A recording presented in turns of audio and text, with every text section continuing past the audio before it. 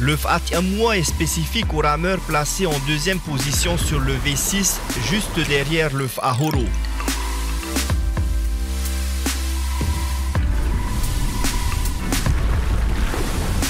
Il doit être en parfaite synchronisation avec le meneur, poste 1, pour ne pas engendrer de décalage avec le rameur de son bord.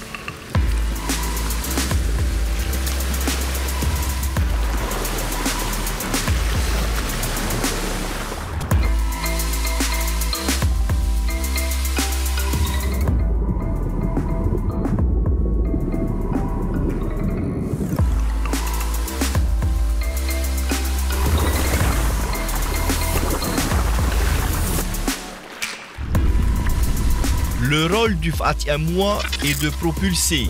Il doit faire en sorte de garder l'avant du Va déjaugé.